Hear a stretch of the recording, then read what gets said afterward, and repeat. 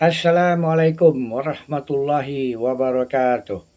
Salam sejahtera buat sahabat-sahabatku semua. Okey, kali ini saya ada satu cerita yang nak dibahaskan iaitu tentang ada seseorang ha, yang pandai, yang boleh cerita tentang di Malaysia. Ha, tapi dia duduk di luar negara tapi dia boleh tahu di Malaysia macam mana. Ini ada satu orang. Nak katakan pintar, bukan pintar.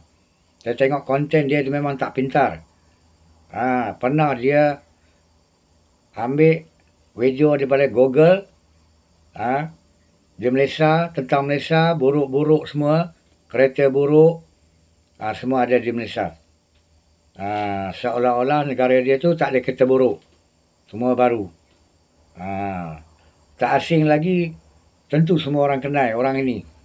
Ha, dunia pun sudah kenal. Kan? Mana dunia tak kenal dia, kaki menghujat, kaki menghina negara orang. Ha, dan tentu tuan-tuan semua tahu. Itulah nama dia apa? Kokori. Ha, Kokori Google. Dia tu Kokori Google lah. Ha, sahabat baik dia Google. Ha, segala-gala dia buka dia cari mana yang buruk-buruk dia akan buat satu konten. Ha, ini Kokori. Dan tentu orang semua kenal. Ha. Dia cerita tentang negara dia, dia tak ada. Semua bagus. Ha, tapi dia menghujat negara ha, Malaysia ni. Tak tahulah macam mana dia punya daya pemikiran dia, saya tak tahulah. Kan? Mungkin dalam kepala otak dia tadi, uh, dia tentang Malaysia ni dia memang orang kata apa? Lebih pandai daripada orang Malaysia sendiri. Uh, dia cerita tu ibarat orang Malaysia tak tahu. Dia yang tahu. Ha, saya tak tahu dia duduk dekat negara dia tu mungkin pulau mana. Mungkin pulau tu belum ada orang duduk lagi. Dia duduk satu keluarga. Ni Kokori ni. Ha, semua dia tahu. Ha, kan tentang. Tapi dia tahu pun bukan tahu macam orang pengkaji sejarah. Ha? Dia bukan macam tu. Dia tahu hanya yang buruk saja. Ha, tentang buruk, tanya kat dia. Tanya dia, dia tahu. Kalau tanya yang ada kemajuan, negara yang maju ke ya, yang baik-baik ni, dia tak tahu. Dia tahu yang buruk saja. Ini kokori. Ha, saya tak tahu penyakit apa dia ada. Kita bukan tahu. Dia ada mengidap, dia ada mengidap satu penyakit, kita bukan tahu. Ha. Cuba kita bayangkan kan. Dia duduk negara lain. Tapi dia cerita tentang negara lain. Negara Malaysia. Ha. Kenapa dia mau cerita negara Malaysia? Kita orang Malaysia kita tahulah. Tak payah tunggu dengar cerita dia. Betul tak? Ha. Itu bermakna dia tak ada kerja. Dia bukan ada kerja. Dia itu duduk Google juga. Ha. Ada masa lapang dia ini buat konten. Buruk-buruk ke Malaysia. Ha, mungkin view ke apa, dia nak nak cari view. Itu dia buat dia punya buruk-buruk tu jadi ramai lah dia punya penyokong-penyokong dia. Yang like. Ha, kan? Yang like dia tu, komen dia tu orang terima lah. Itu dia buruk Malaysia. Dia dapat view. Tu cara dia. Cuba kita tengok. YouTuber Malaysia. Ha, tengok YouTuber Malaysia konten-konten yang ada orang Malaysia ni ada pernah ambil video kereta buruk di Indonesia.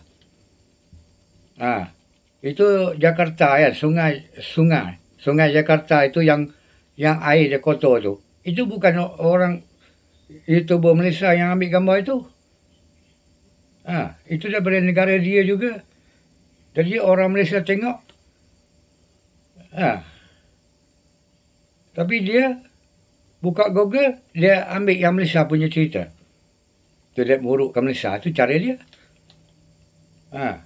Cuba kita tengoklah kan. Konten-konten yang ada tu. Ada ke pernah orang Malaysia pergi sana.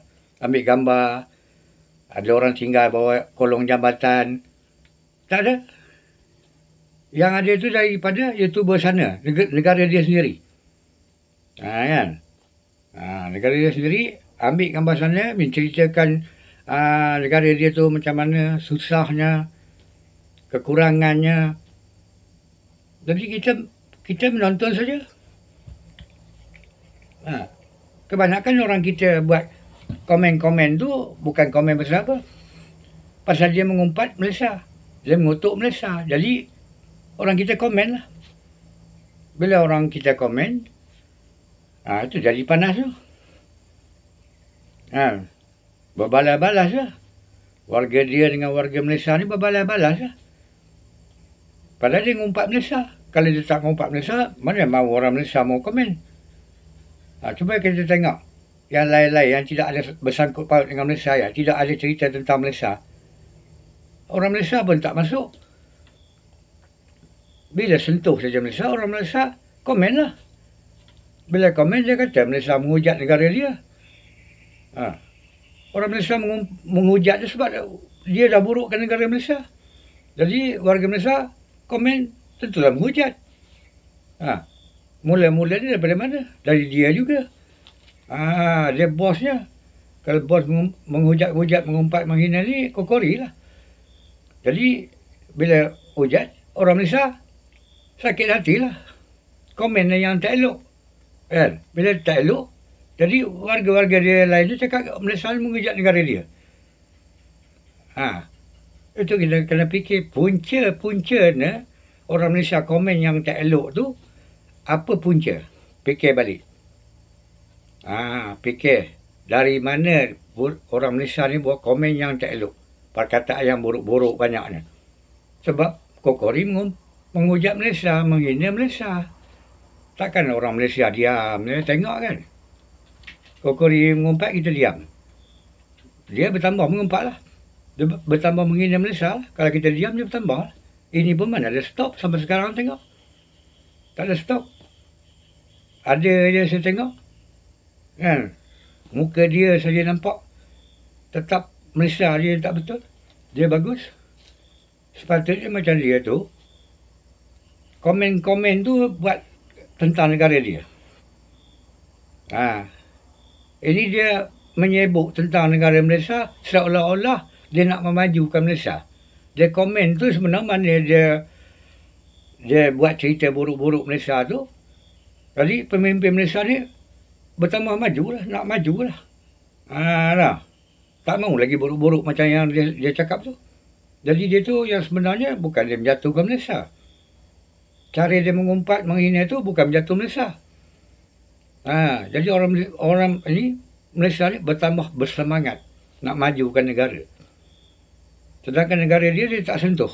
Sepatutnya dia sentuh cerita tentang negara dia. Macam mana nak maju. Apa yang kurang. Itu nak diperbaiki. Tapi dia perbaiki di Malaysia. Ha, tu saya perhati selama ini. Dia menghujat tu, saya nak katakan saya marah pun, saya tak marah.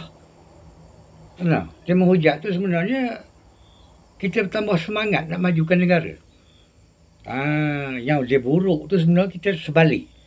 Ha, dah. Itulah cara dia. Kalau orang mengumpat kita, takkan kita jadi jatuh. Tentu kita semangat nak naik.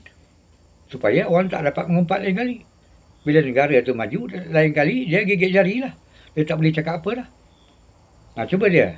Tentang negara Singapura. Kecil ya. Negara Singapura bukan besar. Dia tak menghujat.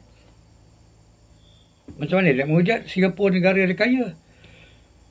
Ha, nah dia ambil kesempatan Malaysia. Sebab Malaysia ni negara yang membangun. Singapura dah lebih bangun dah. Dah kaya. Jadi kalau dia ngumpat, kenalah dia. Ah, diserang oleh warga Singapura kan, ah, malulah, gigit jari lah kokori ni. Ah, ni kokori ni tu saja. Dia cari negara-negara yang nampak ada sikit atas pada dia, ah, dia nak nak tekan. Alah, yang dah maju dia tak mau. Ah, negara dia luas. Dia kata, uh, boleh saing dengan Amerika. Dia nak nak menghujat Amerika dia tak berani. Kan? Dan tentu negara dia negara super power. Ha. Keduanya kemungkinan Korea ni bahasa Inggeris pun tak tahu. Nak cakap Inggeris pun tak boleh. Jadi macam mana saya komen negara-negara barat kan yang kaya raya tu. Ha, dia menghujat Malaysia. Sebab bahasa Malaysia ni Indonesia faham kita pun faham bahasa Indonesia. Ha, cuma bahasa daerah yang kita kurang faham kan. Ha, yang daerah ya bahasa. Tapi bahasa Indonesia memang kita faham lah. Orang Indonesia boleh faham. Jadi situ dia, dia boleh menghujat. Kalau dia menghujat negara-negara kaya seperti ini, dia orang bahasa Inggeris.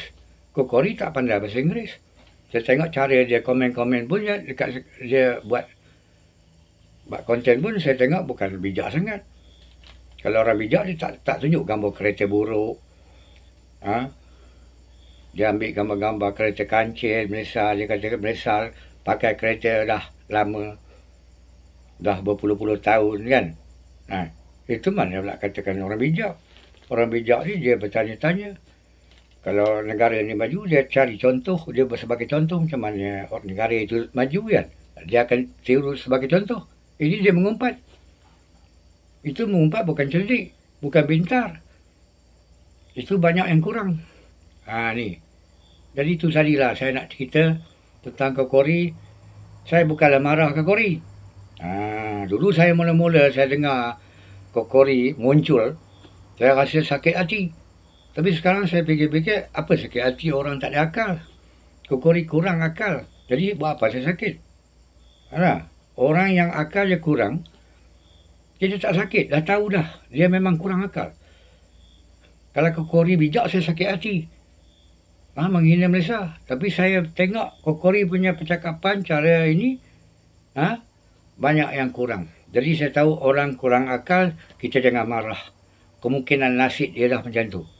Ha, Okey, itu sajalah yang saya nak cakap. Sekian. Assalamualaikum warahmatullahi wabarakatuh.